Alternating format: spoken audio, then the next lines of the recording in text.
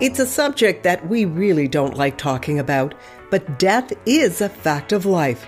Over 320,000 Canadians die each year.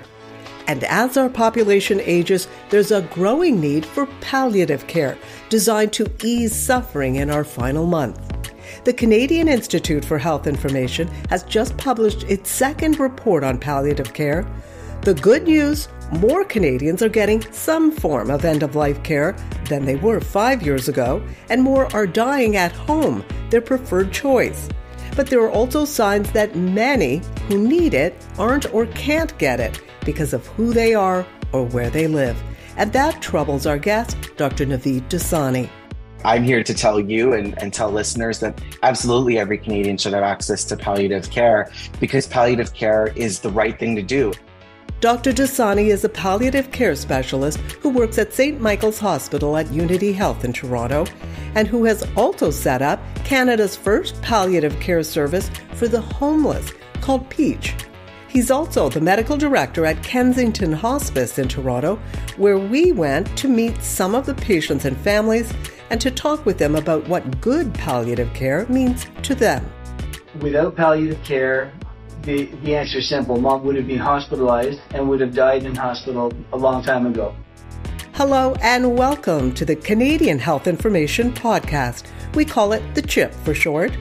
I'm Avis Favaro, the host of this conversation. A note the opinions expressed here don't necessarily reflect those of CIHI, but this is a free and open discussion, and this episode is all about CIHI's report on access to palliative care in Canada. Welcome to the podcast, Dr. Dosani. Thank you so much for having me on, Avis. So let's start with the fact that you are one of a few doctors in Canada who have basically dedicated your life to palliative care. What was the, the interest in this area? Was there an event uh, or a case that triggered your interest? Exactly. There was a, a, a case uh, that I was dealing with when I was a resident at the University of Toronto, working um, at a local men's shelter he was a man in his early 30s. Um, he uh, had a widespread head and neck cancer, and he was shaking, he was writhing, he was curled into a ball. And as I examined his mouth, I could see what was causing him distress. It was this cancer that started at the base of his tongue and spread throughout his head and his neck, and he was experiencing significant pain. I learned that he was actually diagnosed with cancer one year before. And due to an unfortunate sequence of events with his mental illness, he wasn't able to follow up for care. So the tumor grew. He started to experience pain. He went hospital to hospital, seeking the kind of pain control that any person should have access to. He wasn't given pain medicines. And so he found himself in our care in crisis. I got to work the next day and I couldn't find him anywhere. Terry had died overnight um, his body was found in the early hours of the morning. He had overdosed on a combination of alcohol and street drugs. Um, to me, this was a very traumatic event in, in my training to see that in a world class city like Toronto, where we have world class healthcare, that someone like this felt could fall through the cracks. And um, I guess, you know, that really um, launched um, me into this uh, passion for health equity and access to palliative care as a human right. Do Canadians, all Canadians, have a right to palliative care? I'm here to tell you and, and tell listeners that absolutely every Canadian should have access to palliative care because palliative care is the right thing to do. It provides uh, appropriate medical care, pain and symptom management, emotional and psychological support for people at a time when they're most vulnerable dealing with serious life limiting illnesses. But it also provides support for caregivers and families during a difficult time. And it it actually makes sense from a cost effectiveness perspective, from providing care the, to the right person at the right place at the right time. It's actually an efficient model of care. And so, yeah, it, it, it is something that every Canadian should have access to, but unfortunately, we're not quite there yet.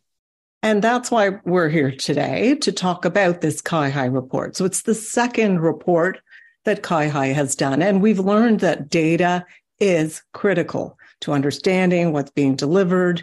Are you improving? Are you losing ground? So let's talk a little bit about the report and where are we based on what you saw?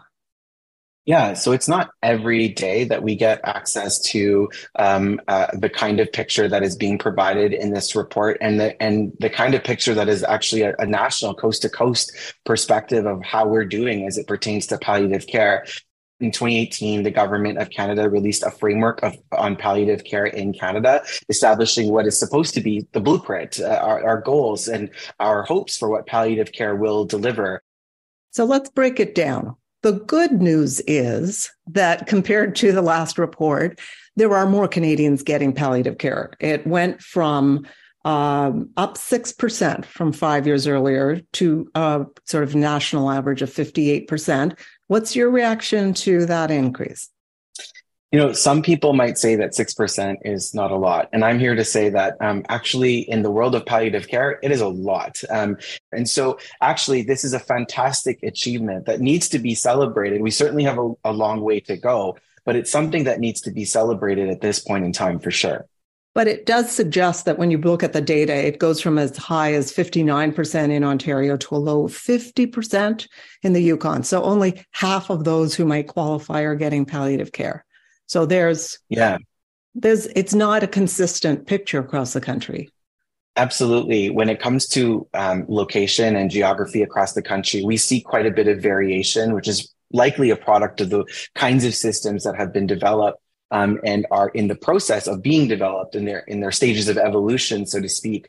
Um, but it also speaks to other issues that need to be discussed, such as urban and rural divide. Um, while access to palliative care was relatively equal um, between rural and urban areas, what was uh, what was what the report says is that patients who were living in rural areas were actually more likely to be hospitalized primarily for palliative care compared to those living in urban areas, and they were actually more likely to die in hospital compared to those in urban areas areas. So even when we had that equal access technically, we saw different outcomes throughout the trajectory when it comes to palliative care as it compares to urban and rural. So that was an interesting finding also. Was that a surprise to you? You know, to me, not necessarily, uh, simply because of the concentration of services that we tend to see that exist in urban areas uh, as compared to rural areas. And it really speaks to the ways that we have a long way to go to develop um, pro- probably more novel and innovative ways to support rural care. So, one of the other questions or one of the other windows that the report gives is where Canadians are getting palliative care. So the vast majority of people, when they're surveyed, they want to die at home. That would mean home care. Uh, that the rate of that went from 7% to 13%. We're getting home palliative care. Is that good news? You're smiling. Yeah, I, I'm so happy. This is this is incredible. It nearly doubled basically um, since last measurement. I think you know uh, we we have to also remember that uh, for some people, home is not a stable environment to receive care. And as someone who provides uh, as a you know palliative care for people who experience homelessness and other structural vulnerabilities like poverty and homelessness, sometimes metrics like this are unfair um, because you know when we say home, what do we mean? Are we talking about uh, a, you know a three story you know house in a in a suburban region? Or are we talking about a shelter? Or are we talking about long term care for example which was also discussed in the report? So happy to see the outcomes but we have to remember that home means different things for for for different people across this country every single day and not everyone is set up in the right environment to receive that kind of care at home. And that's why our systems need to be agile and flexible we were um, allowed to film at uh, one of the places where you're medical director, and that's the Kensington Hospice in Toronto. Uh, 19 beds, a beautiful building. And one of the uh, people that we met was Julian. He's a 70 year old man with end stage cancer. And he told us that he did want to stay home, but the home care was spotty. So I'm going to play a clip of what he told us, followed by a comment from the hospice executive director, Dr. Nadine Persaud. After I had my blood transfusion, I was in extreme pain and I couldn't I couldn't function myself. I used to sleep on my easy chair, my gaming chair, with my feet up on the uh, the hospital bed, and the bed and the chair separated. So I had to wait 30 minutes for the fire department came. How many times did you have to call 911? I think three times the home care I had didn't speak English. So there's one time I phoned them to get out of the bathtub. So if you could have, you would have preferred to be at home. Yes. So I preferred to stay at home. And now you're here. Yeah. And so we, I think I was asking you earlier about people calling 911 when they don't have home support. You've seen that. Yeah. Yeah, I've seen that often where people have no other resort but to call um, EMS or call 911 and the fire truck company will come to support. And I think often of people who don't have the capabilities to call and who will just end up on the bathroom floor until their next PSW comes to visit or a caregiver comes um, because of the lack of resources. Does Julian's story highlight some of the problem with home palliative services? If people want to die at home, but it's not there, they end up like Julian needing more help. Yeah, you know, Julian's story is uh, a story I hear um, quite often from people, and is the story of many people across Canada who would have loved to have stayed at home if they had had more access to resources by way of home care and actually our systems make really significant assumptions. One of the biggest assumptions is that um, is that you have other people in your life. You have other caregivers, family members, support systems that will fill in when publicly funded home care um, uh, is not around. And the raw reality is that there are many people who don't have those kinds of supports and aren't able to privately pay for those supports. And so um, when you talk to folks um, in in hospice, um, I, the vast majority, if not all of them, say, "Yeah, I would have loved to have been home. I'm only here because." Home uh, there wasn't enough home care to support me when i needed that support. So now i'm here. And so institutions like hospices are obviously very important and they, you know they're needed. But if we expanded our our home care systems and provided more resources for people more people would be able to stay at home. And when it comes to palliative care more people would be able to stay at home for their end of life care. That would be the goal. That would be the goal. So where are most people in palliative care dying based on the report? Yeah, unfortunately, what we're seeing is that still a significant proportion of people are dying in hospital. And from a cost uh, allocation uh, and resource perspective, it's actually a very expensive way to do things. You know, hospitals do play a role. The idea is that though, when folks are using the hospital, they're using it at the right time and they're using it for sh- a short period of time, such that um, it's not actually the place that they stay for long periods of time. So one of, one of the things about the CIHI report is that the hospital seemed to become a default when there was a crisis. And I've heard that palliative care should never be a crisis, but they were ending up in hospital because there was a seizure or there was some sort of problem. And the CIHI report says that uh, some 44,000 end of life patients who went to the emergency department for some sort of palliative care, the majority, oh, 66%, like were admitted, they were unplanned, and one in four died within 24 hours. What happens when someone who's near death and is palliative is sent to hospital that way? What does it trigger? Yeah. So um, a lot of people might think, oh, like you know, go to the hospital. It's the right thing to do. It's it's it's the best place for a person to be. Well, in in reality, what it often means is that people are going into a system where they're kind of put on this conveyor belt where they're now going to be admitted to the hospital they're going to have uh, you know they're going to get poked for blood work they're going to have investigations um, and they're going to have a multitude of tests uh, that they would have never really wanted to have in the first place that's not a great thing because it's not a place that always has that emphasis on quality of life. Now, many hospitals like the one I work at has have done a really great job in implementing and growing palliative care consultation teams and having palliative care beds in hospital but we still see this all the time. And that's why there's so much effort being made up front to prevent hospitalizations to begin with. Uh, the, yeah i believe the report talked about how in prince edward island they're training uh, paramedics first responders to be able to identify when someone's in a palliative situation, see if they could stabilize them at home rather than put them on that conveyor belt. Absolutely. I think the paramedics project, which is being piloted in, in many provinces across Canada now, is a really great innovative use of existing health human resources that really can make such a difference upfront and upstream and prevent, um, you know, visits to the emergency department and ultimately hospitalizations. I also think that another innovative, you know, intervention has been training up our health human resources across this country around, you know, primary uh, palliative care skills. And there's a, a training program run by Pallium Canada called the LEAP program. And LEAP has, um, you know, done incredible work coast to coast, training professionals um, from all disciplines about a palliative approach to care. And the more that people know about these issues and have these skill sets, the more they're going to be able to intervene upfront. I also think about the role of virtual care. I think about the work that our palliative care outreach team does for people experiencing homelessness and thinking about the, the special and vulnerable populations that need that customized and tailored trauma informed support to be able to support care to keep people in community where they want to be if they want to be there. And so it's, it's likely a multi-pronged approach and these kind of innovative solutions are important.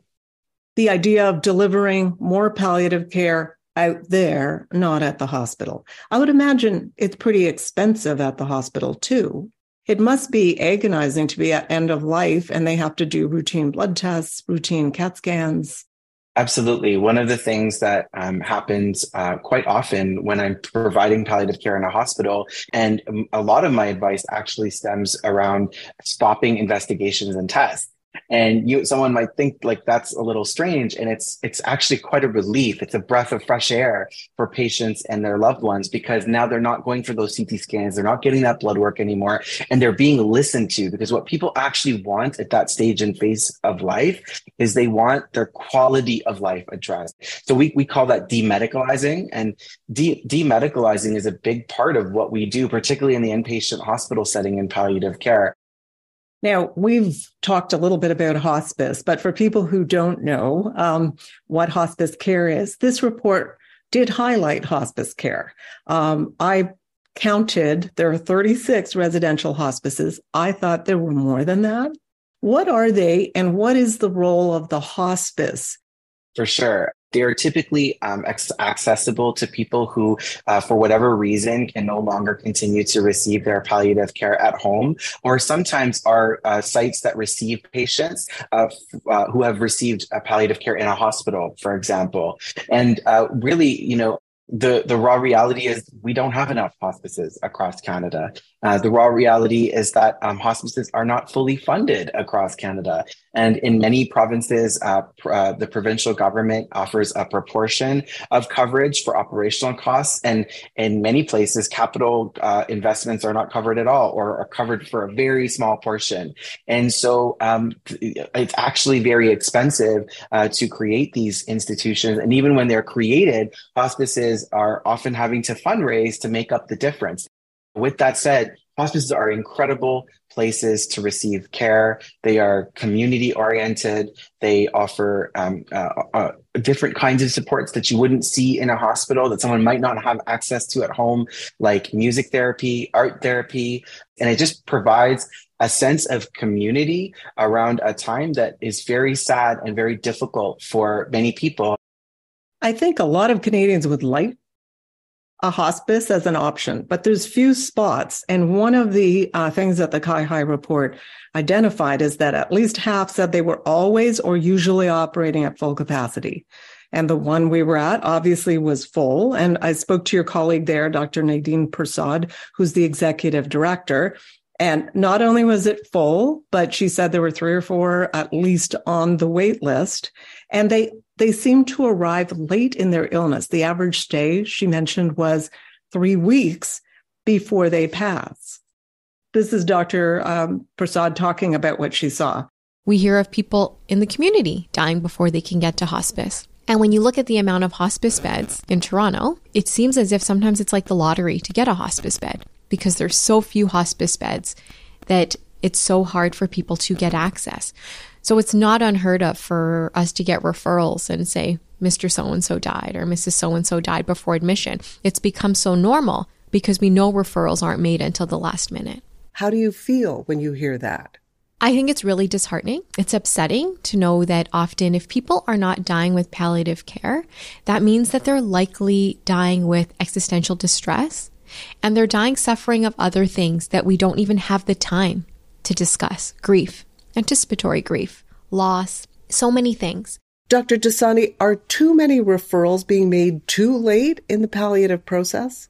Absolutely. We are identifying uh, uh, the need for a palliative approach um, uh, too late in, in the trajectory of too many people across Canada. Why?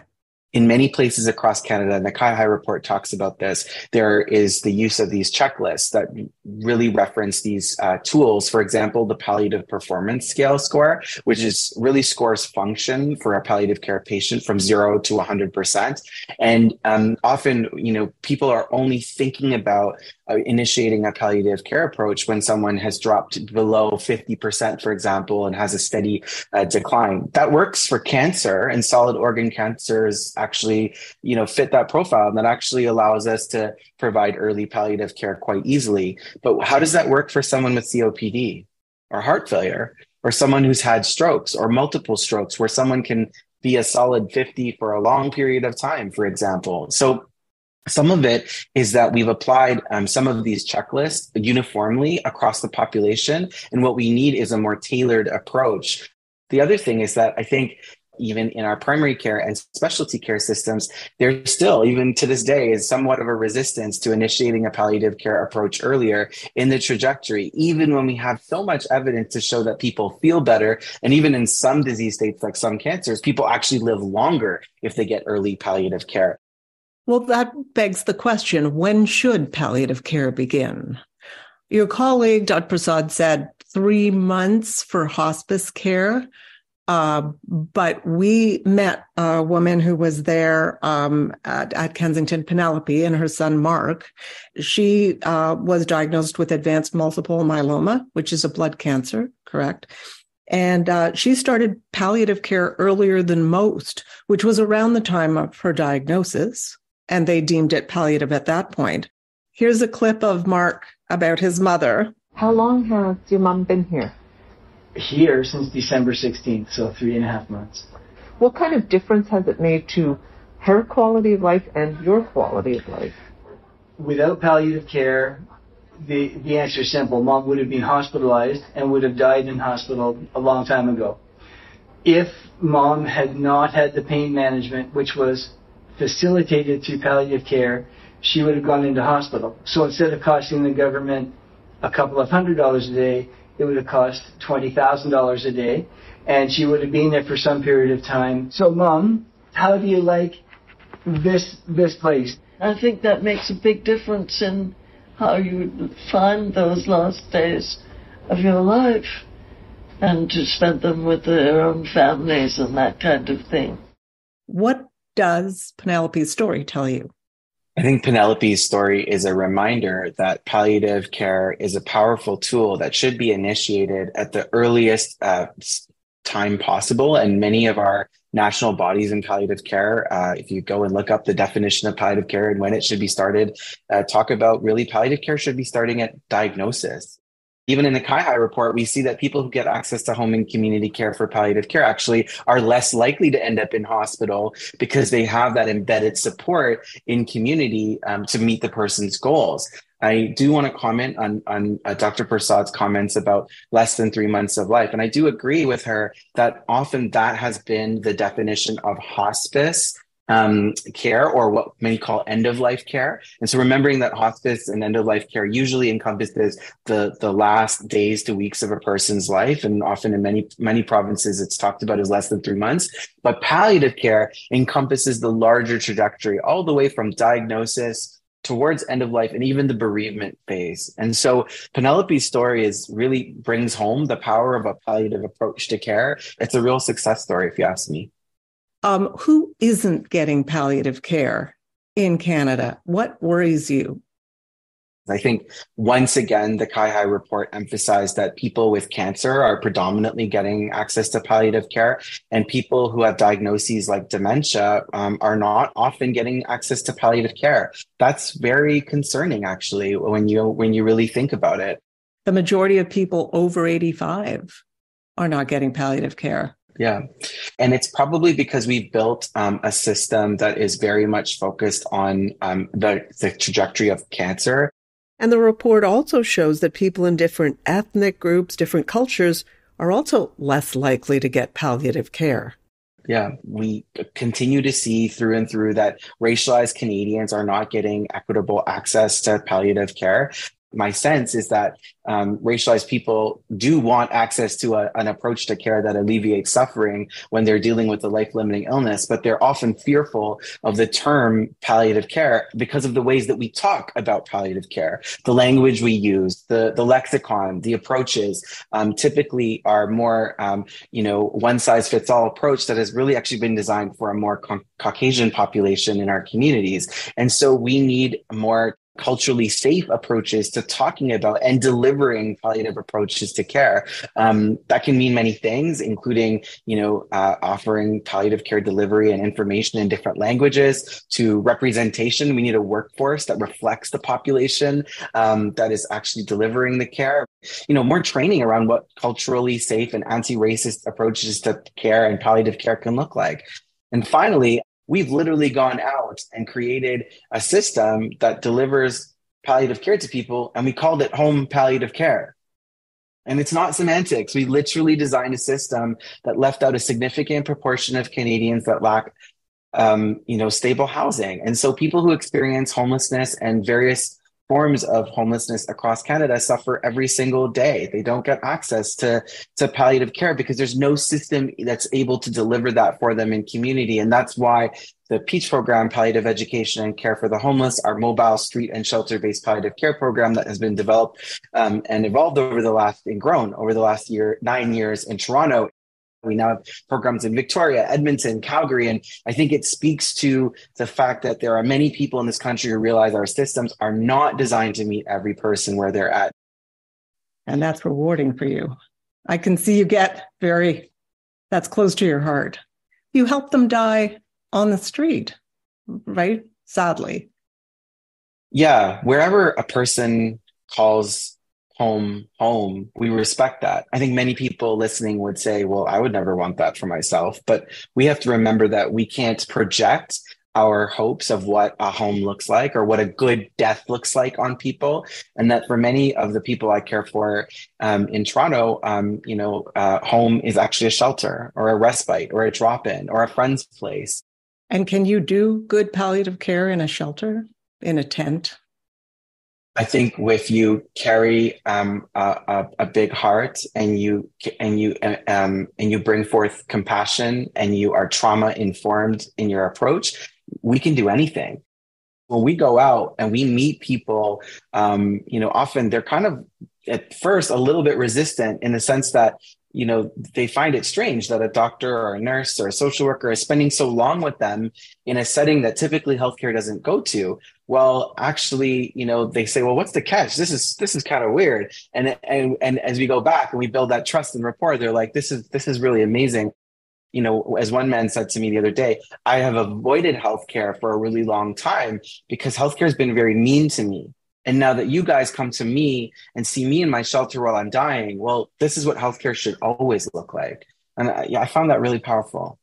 One of the things about the CIHI report, uh, shifting focus a bit here, is, is caregivers.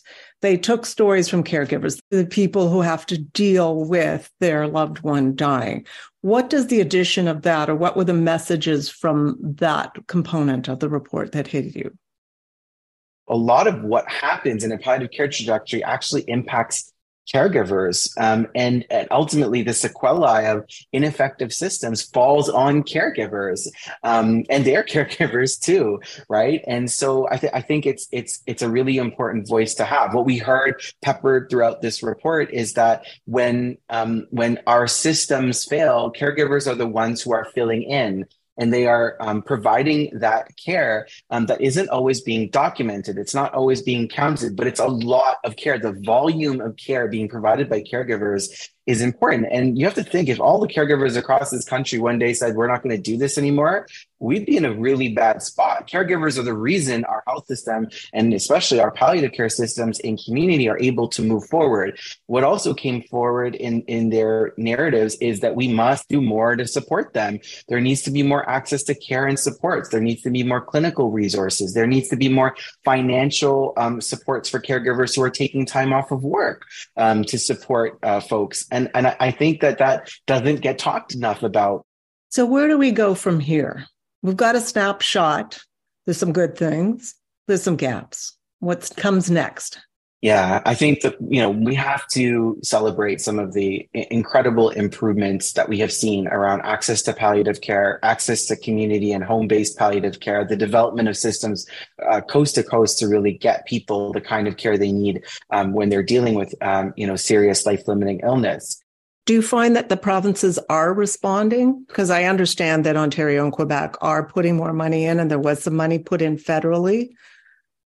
Yeah, so there are pockets of excellence where we're seeing uh, particular provinces like Ontario and Quebec that have earmarked specific money, uh, particularly, for example, in the area of hospice, uh, to be able to expand care. But it's it's just the beginnings. It's it's really something that needs to grow and it needs to grow quite quickly. I'm also concerned about the variance across the country, considering this is a, a, a country where I know everywhere people are dealing with palliative care issues. Why is one province giving more uh, to this issue than another? I think we need more of a more of a uniform approach to these situations.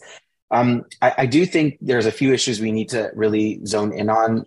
Uh, we we recognize that you know most you know, Canadian primary care physicians are having end of life care discussions with patients, somewhere around 94%, but only 40% actually feel prepared to have the conversation. I'm actually spending a lot of time with practicing uh, uh, family physicians around how to have serious illness conversations and how to have the goals of care discussion, how to bring up the topic of a palliative care approach for people. These are, you know, deep conversations that require time. And how can you have a conversation like this in a 15 minute appointment right? Those are some real um, issues that need to be discussed. Uh, palliative care and MAID i have heard that some patients have said i don't need palliative care i'm having medically assisted death but I've also heard that some patients who request medically assisted death, once they get palliative care, they don't want medically assisted death in some cases, when people are are um, you know uh, exposed to what palliative care can offer, they say, "Oh, I didn't know this was an option. I didn't know this existed. Now that I know this existed exists, um, I, I don't think I want to pursue medical assistance in dying. And then in other cases, people say, This is really great. Thank you so much for offering me this palliative care, and I will res- continue to receive this. But for other reasons, I still want to pursue medical assistance in dying. I think the way forward in palliative care Canadians have spoken. They want access to medical assistance in dying. I think we need to respect the different trajectories that people experience and need to be humble and, and have humility in our approaches to supporting care for patients, no matter what their trajectory is.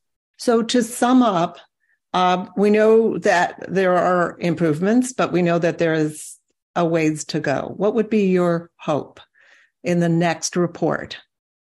Yeah, so in, in in the next report, my hope is that we see less variance across Canada, province to province, region to region, by way of funding and and and uh, supports that are being provided around palliative care in community. For example, hospice funding would be a really good thing to see more of and more equity in across provinces from uh, uh, and territories. Um, I think the the second thing I would really like to see is a robust um, you know, strategy that really, you know, empowers and supports primary care physicians and primary care healthcare teams to initiating a palliative care approach um, such that uh, it allows us to shift the conversations from downstream to much earlier upstream. That might mean new funding envelopes for, you know, um, billing codes that support, you know, conversations like that. Um, and the third is I'd, I'd like to see uh, in a future CIHI report more robust data about the experiences of people who, who are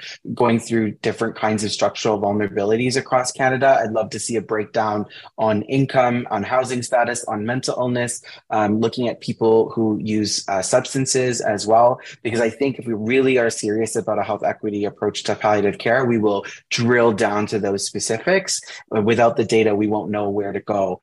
Well, I hope you I hope you get your wish.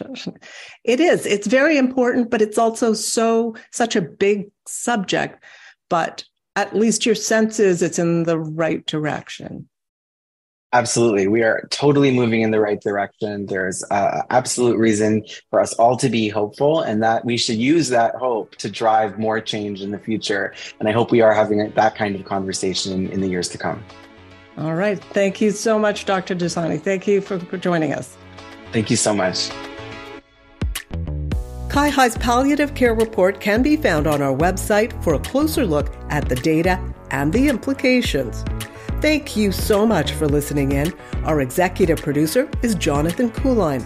And a shout out to Alian Yang, the host of our French CIHI podcast. And if you want to learn more about the latest Canadian Institute for Health Information data, please go to cihi.ca, that's C-I-H-I.ca, and subscribe to The Chip wherever you get your podcast. I'm Avis Favaro. Talk to you next time.